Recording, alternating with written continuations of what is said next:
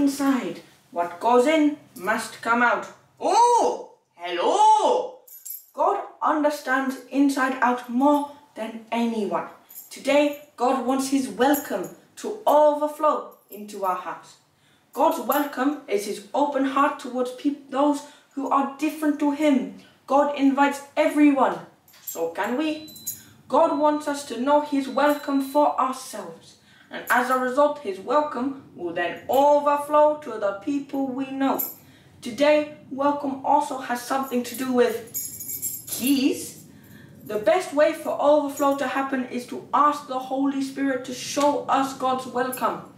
Can we make this last overflow prayer the biggest of all 10 weeks?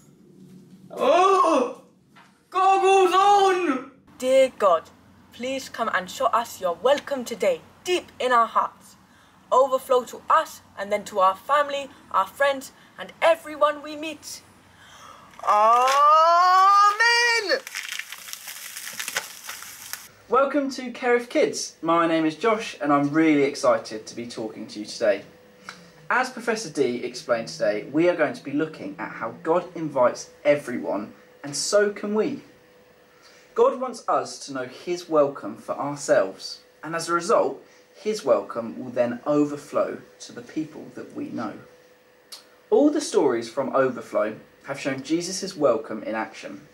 His open heart towards people who are different to him, children, women, traitors, the sick, and the poor.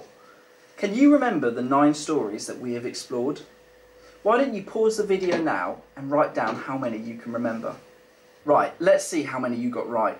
So we've got the tax collector, Levi and Favour, little children and friendship, bleeding women and healing, the lost son and mercy, dead Lazarus and Mary and compassion, 5,000 people and small boy and generosity, blind Bartimaeus and kindness, man with paralysed hand and anger, poor people in the temple and justice. In these stories, Jesus reveals God's welcome, his open heart towards people who are different to him. God invites everyone, and so can we. So, what is God's welcome? Well, why do we have locks and keys on the doors to our homes, schools, and churches? It's to keep people out. We give someone a key when we know them or trust them. Sometimes we can imagine that God is sitting behind a big locked door, only letting the good, clever, or beautiful people near him. But that's not the case.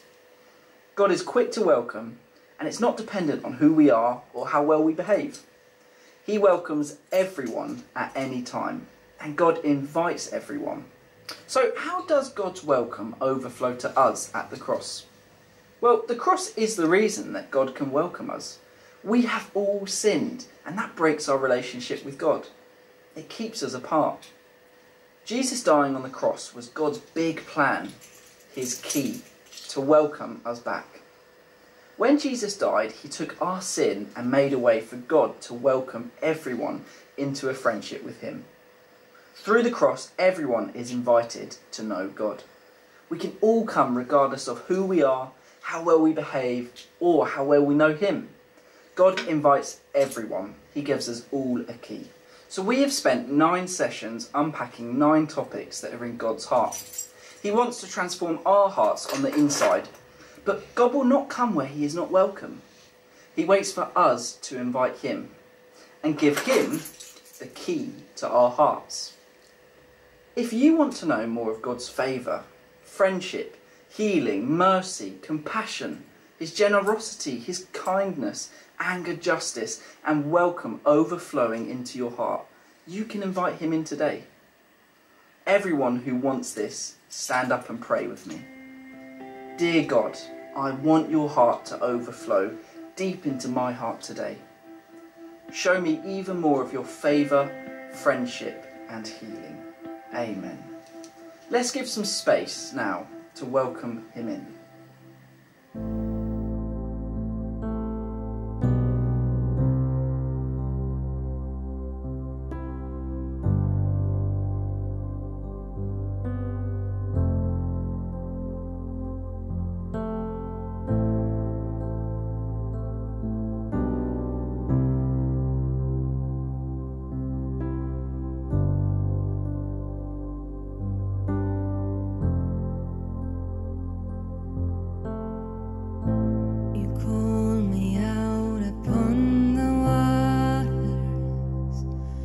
prayed unknown or fear may fade and there I find you in the mystery in oceans deep my faith will stand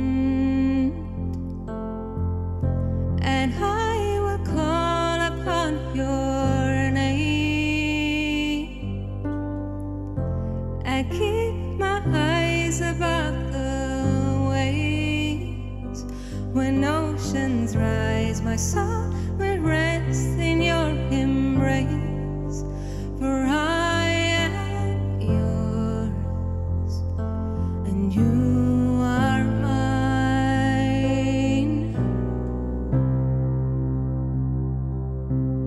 Mm-hmm. Mm-hmm. Mm-hmm. Your grace in deepest waters.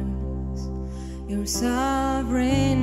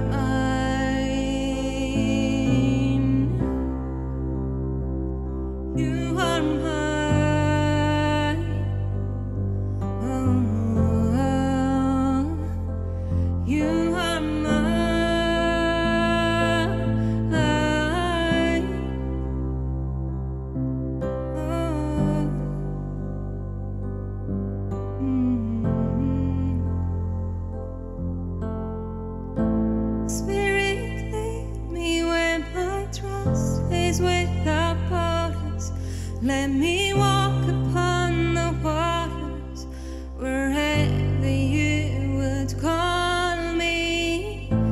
Take me deeper than my feet could ever wander, and my faith will be made stronger in the presence of my Savior.